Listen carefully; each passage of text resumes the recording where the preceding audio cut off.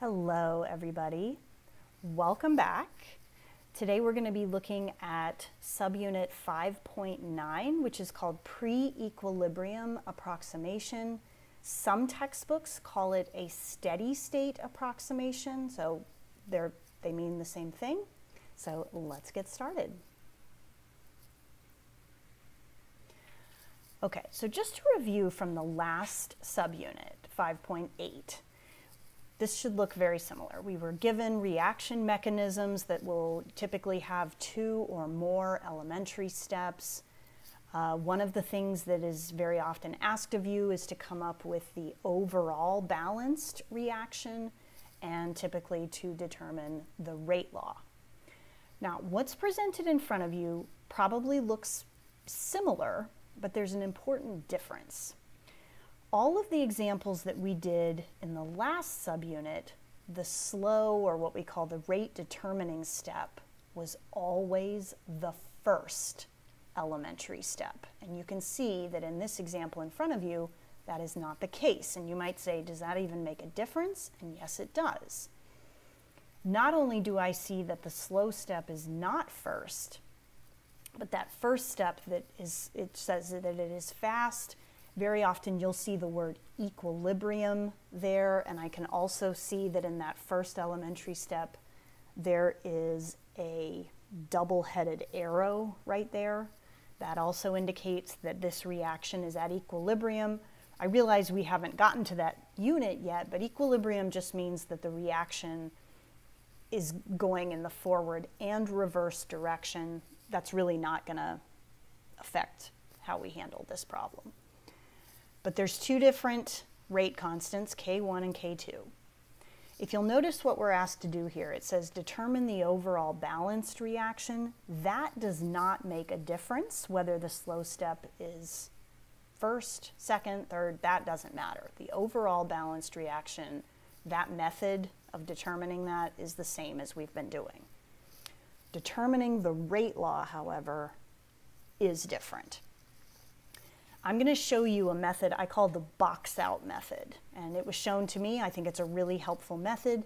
But let me just make sure this is clear. You only have to use this method if the slow step is not first.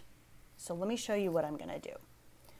If the slow step is not first, like in this example, what I do is I draw a box around the reactants of that slow step and anything above it. So let me show you. I'm going to draw a shaded box around the reactants of the slow step and anything above it, meaning any elementary step in its entirety, I'm going to include in that shaded box.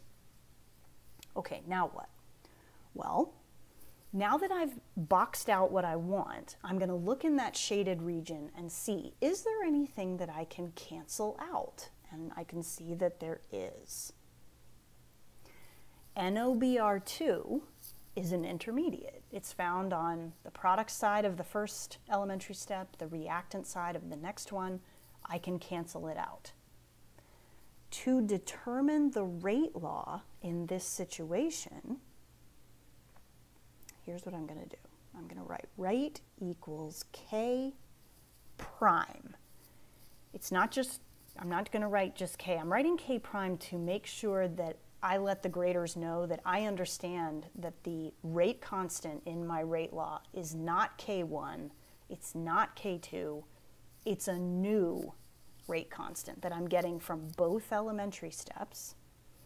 But then I'm going to write it kind of like we have in the past. I'm going to look at this shaded region and I'm going to write the rate law based on what remains. For example, nitrogen monoxide in that shaded region, I can see that there's two of them. So I'm going to give an exponent or a power of 2, whereas the bromine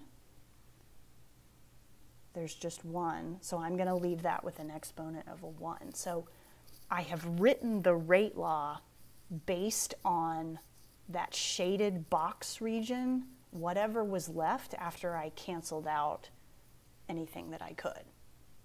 Okay, but let me just make sure this is clear. You only have to use this box out method if the slow step is not first.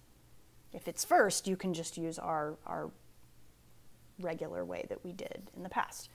Last thing I want to do here is determine the overall balanced reaction. As I said, that's no different, whether the slow step is first, second, third, doesn't matter. So I've canceled out that intermediate. So here is my overall balanced reaction plus BR2 to NOBR. Okay, so that's no different, but this box out method I think is really helpful when the slow step is not first. So let's just look at another example, okay? Right away, I can see in this reaction mechanism that the slow step is not first, and that should send up a little flag in your brain. Mm, I should probably try that, that box out method. So I'm going to shade in, again, let's make sure we know what to shade in. The reactants of the slow step and anything above it, the entire elementary step above it, reactants, products, everything. Within that shaded region, is there anything that I can cancel out? And yes, I see that there is something that we can cancel out. Okay, there's an intermediate. And so we're going to write the rate law based on everything that remains. Okay, so I would write rate equals K prime. I can see that ozone, that O3, there's two of them. Now there's something in this example though that's a little different. Let me show you. Okay, so right here, that should not be a surprise to you. There's two ozone molecules on the reactant side, so it gets a power of two. However, what is going on here? We typically don't have things in the denominator in our rate laws. But the reason for that, guys, is because we typically, whoops, don't have products included in our rate law. That's a little bit unusual, but it wasn't canceled out, so it needs to be included. And if there is a product left in your shaded region, it ends up in the denominator of a rate law. Okay? So that's, that's unusual. That does not come up very often on the AP exam, but it's possible that you could see it. But I want you also to think about what it means for something to be in the denominator of a rate law. That means if you were to increase the molarity of that O2 gas, that would actually cause the rate, the overall speed of this entire reaction to slow down.